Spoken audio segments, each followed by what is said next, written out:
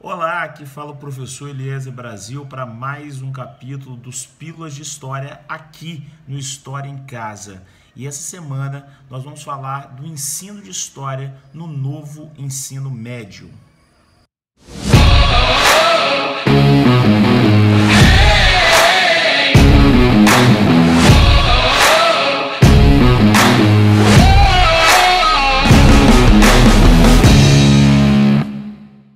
Durante o governo Temer, o pequeno, foi aprovado a reforma do ensino médio.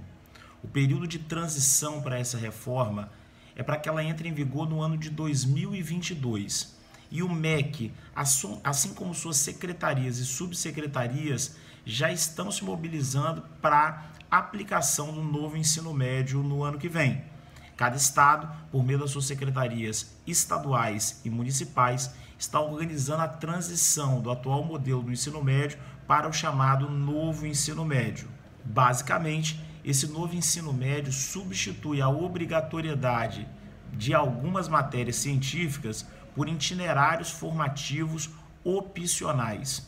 O que vem sendo vendido como uma modernização da educação e a transformação da escola num ambiente mais moderno e adequado com o tempo presente pode ser, na verdade, uma precarização ainda maior do conhecimento científico, além, é claro, de alastrar a distância entre ricos e pobres, uma vez que as escolas dos mais pobres serão muito mais inclinadas para o ensino tecnicista, que formará essa mão de obra para trabalhos mais precarizados, enquanto que as escolas das elites oferecerão conteúdo científico e cultural, fazendo com que a distância entre ricos e pobres aumente. Para piorar, apenas português, matemática e inglês aparecem como disciplinas obrigatórias. Disciplinas das ciências, tanto da natureza quanto das ciências humanas, aparecem como optativas. A curto prazo, o medo é que o desemprego chegue em massa à classe do magistério. E além disso, que tipo de formação virá a partir do momento em que as ciências são tratadas como opcionais. O Programa Nacional do Livro e do Material Didático, PNLD, pela primeira vez apresentou um catálogo totalmente alinhado às propostas da Base Nacional Comum Curricular, BNCC, do ensino médio, reabrindo as polêmicas sobre essas mudanças e trazendo novas Imaginávamos o que estava por vir, mas a estruturação dos livros deixou mais claro do que a própria BNCC o projeto político em curso, que é o esvaziamento profundo dos conhecimentos científicos.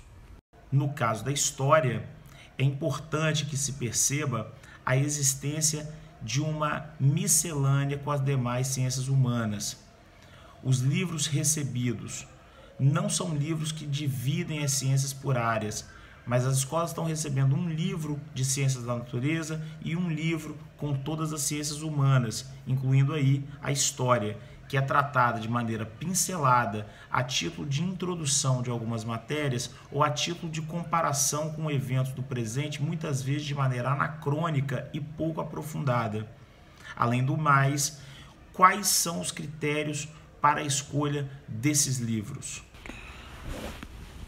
Trata-se de um projeto que veio para acirrar a dualidade estrutural da educação brasileira, direcionando os filhos da classe trabalhadora que estão nas escolas públicas para o mercado de trabalho precarizado. Isso fica evidente quando os professores entram em contato com os livros. Essa é a análise de Michel Torres, coordenador da frente e professor do Instituto Federal do Rio de Janeiro. A história do PNDL remonta a 1937, quando Vargas criou o Instituto Nacional do Livro, que passaria a controlar a produção e a circulação de obras didáticas no país. Isso durante a ditadura do Estado Novo, vale lembrar. Mas foi só nos anos de 1960 que o governo federal passou a desenvolver iniciativas voltadas para a compra e distribuição gratuita de grandes volumes de livros para as escolas.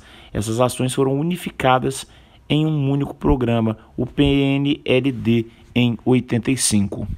O novo ensino médio foi criado de maneira atropelada logo após o golpe de 2016 pelo governo Temer, que estava cercado pela mesma horda que dará base à eleição do Bolsonaro em 2018, alegando a ideia da despolitização das escolas, trataram as ciências humanas e, sobretudo, a história, a filosofia e a sociologia como inimigas, fruto desse devaneio da luta contra um comunismo imaginário.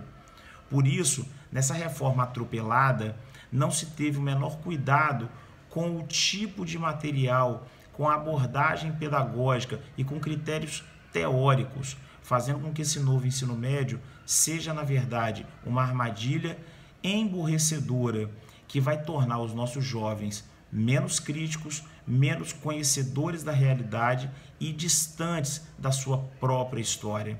A quem interessa não revelar as contradições do passado brasileiro?